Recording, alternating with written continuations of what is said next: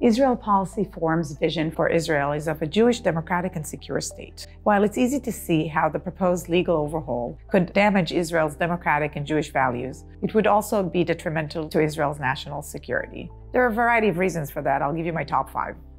Internally in Israel, the plan threatens social cohesion, the very pillar of Israel's resilience. This breakdown of social cohesion also affects the IDF, with growing numbers of senior reserve officers in elite IDF units now declaring that they will not take orders from a government they believe is seeking to undermine Israeli democracy. The government responds to these threats, including calling the protesters cowards by ministers who themselves never served in the IDF, only exacerbates these tensions. Israeli security experts now fear that it could affect the IDF's organizational effectiveness, capabilities, and could even undermine Israel's deterrence posture.